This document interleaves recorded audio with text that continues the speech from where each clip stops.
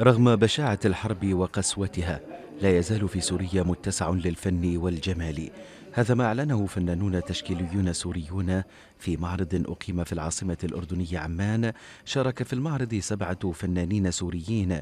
قدم كل منهم في أعماله التشكيلية رؤية مختلفة للأزمة الإنسانية التي سببتها الحرب في سوريا.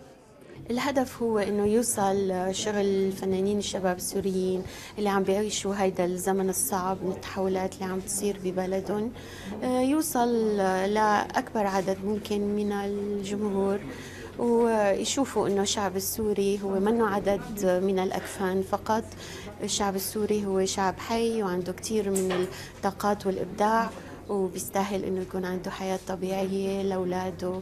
كما يقول القائمون على المعرض إنه يهدف أيضا إلى تسليط الضوء على مواطن الجمال التي غطى عليها الصراع في سوريا. عندنا جمال كثير صحيح من الخارج هو هلأ عنف وقتل وموت بس بالداخل بعده جمال موجود. وبنقدر عن طريق الفن إنه نتغلب على كل هاي المشاكل اللي صادفناها واللي هي دخيلة على المجتمع السوري. لم يقتصر هذا المعرض الذي غلب عليه الفن التجريدي على أعمال فنانين سوريين في الخارج إذ عرضت أعمال فنية لفنانين ما زالوا يعيشون داخل سوريا. أما الحضور فلم يقتصر على السوريين فقد اجتذب المعرض زوارا من الفئات والجنسيات كافة. التعبير عن أثر ما يحدث في بلادهم الآن في سوريا.